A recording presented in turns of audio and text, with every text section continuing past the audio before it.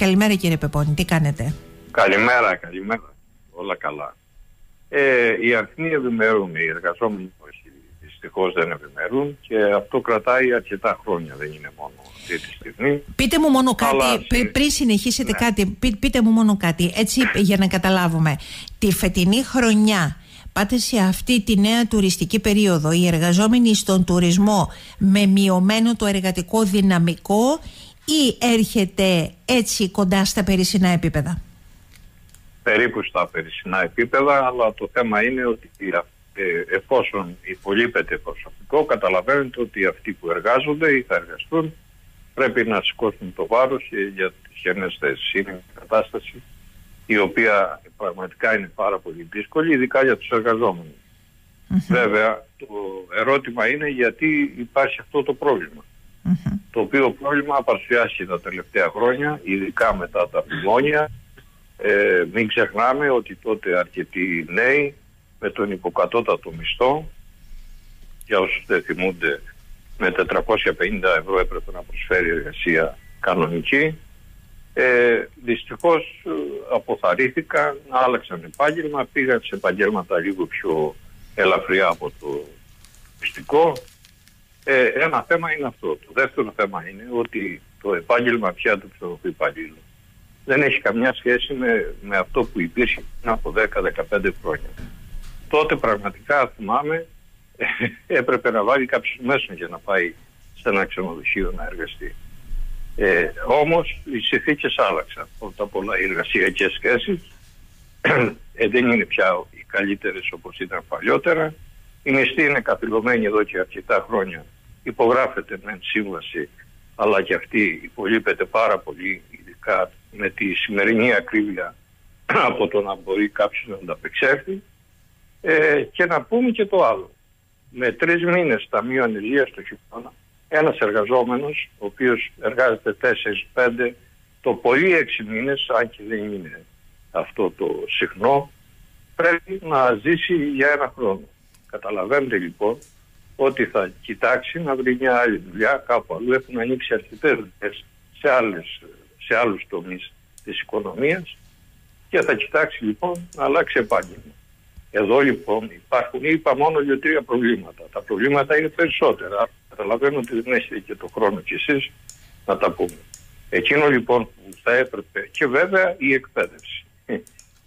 Μιλάμε για την παλιά βιομηχανία της χώρας και η εκπαίδευση, ειδικά για τον τουρισμό, είναι στα κατώτερά της. Να πω για τις σχολές του Κοκκίνη του Χάνη που έβγαναν επί δεκαετίες στελέχη, μεσαία στελέχη στον τουρισμό δεν λειτουργούν να πω για τις δύο ανώτερες σχολές που υπάρχουν στον Άγιο Νικόλο και στη Ρόδο υποβαθμισμένες και αν υπήρχε το φιλότιμο τους καθηγητές και το προσωπικό θα, δεν θα λειτουργούσαν καθόλου.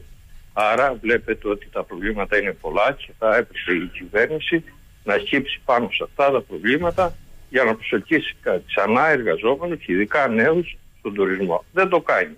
Τώρα γιατί δεν το κάνει; Ο καθένας μπορεί να δώσει τη δική του. Όση, όση ώρα προ, ε, εσείς λέτε αυτά τα οποία ε, αναφέρετε κύριε Πεπώνη σκέφτομαι. Γιατί αυτή η πολιτεία όταν είναι η βαριά της βιομηχανία ο τουρισμός ε, βάζει τα δάχτυλά της για να βγάλει μόνη της τα μάτια της. Πραγματικά είναι κατανόητο Μα νομίζω ότι χρειάζεται άλλη ειδικότητα να μας εξηγήσει.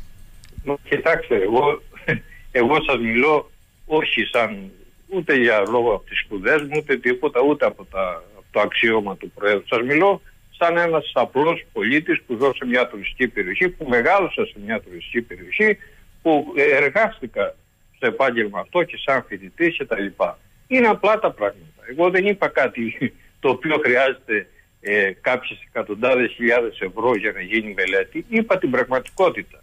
Την πραγματικότητα την ξέρουν. Γιατί και τα συνδικάτα και η Ομοσπονδία και τα σωματεία εξωβηπαλλήλων και τα εργατικά κέντρα ενημερώνουμε, πιέζουμε, το λέμε, το ξαναλέμε, αλλά δυστυχώς δεν μας ακούνε. Είναι, είναι τόσο δύσκολη η λύση, κύριε Πεπονή.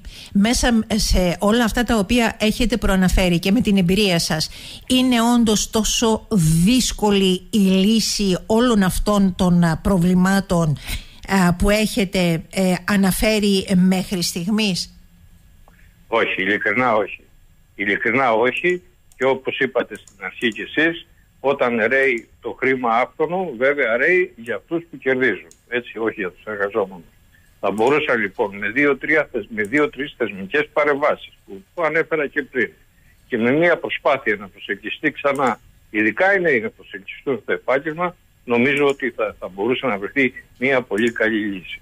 Αλλά η λύση, από ό,τι ξέρετε κι εσείς, είναι να φέρουμε 80.000 εργαζόμενους από τρίτες χώρες στον χώρο του τουρισμού. Ότι αυτό συνεπάγεται. Άρα δηλαδή, άρα δηλαδή, μέσα, ε, άρα δηλαδή ε, μέσα στο μυαλό σας είναι όλων, γιατί δεν είναι η πρώτη φορά που το ακούω και οι, οι υπόλοιποι από την υπόλοιπη Κρήτη αυτό είπανε ότι εδώ ακολουθούν βήμα-βήμα εκείνο που λέει ότι το φτηνό εργατικό χέρι είναι το καλύτερο και εσείς μιλάτε συγκεκριμένα τώρα για 80.000 εργαζόμενους.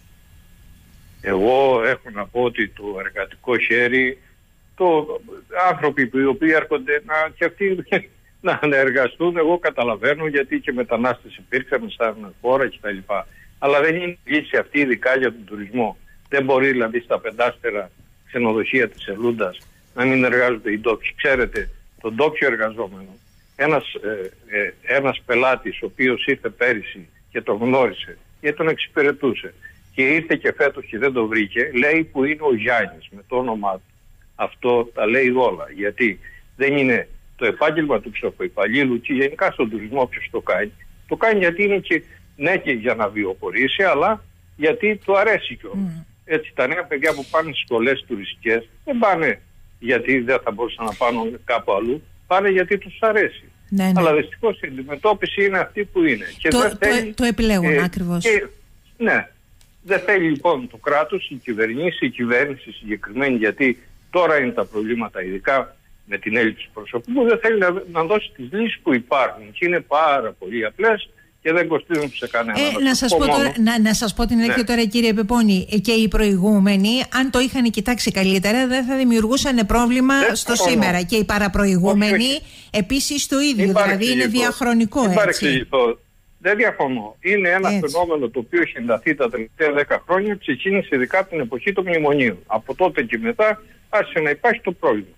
Ε, έπρεπε να έχει δοθεί λύση. Δεν δόθηκε από τους προηγούμενους. Α δοθεί από τους τωρινούς αλλά δεν δίνεται ούτε από αυτούς. Άρα για ποια βαριά βιομηχανία μιλάμε και βγαίνουμε και κλαίμε και λέμε δεν έχουμε εργαζόμενους στον τουρισμό όταν την ίδια στιγμή ε, τώρα που μιλάμε κανονικά θα έπρεπε να τρέχει ένα πρόγραμμα πληρωμένο από την Ευρωπαϊκή Ένωση για 20.000 ε, εργαζόμενους και άνεργους στον τουρισμό για μετεκπαίδευση ε, χρήματα από την Ευρωπαϊκή Ένωση σας πληροφορώ ότι ακόμα δεν έχει βγει ε, δεν έχουν βγει ποιοι θα το παρακολουθήσουν. Να το παρακολουθήσουν πότε, στο full της σεζόν, όταν πέρασε από τον περασμένο Οκτώβριο που κάνανε τα χαρτιά τους τις αιτήσεις.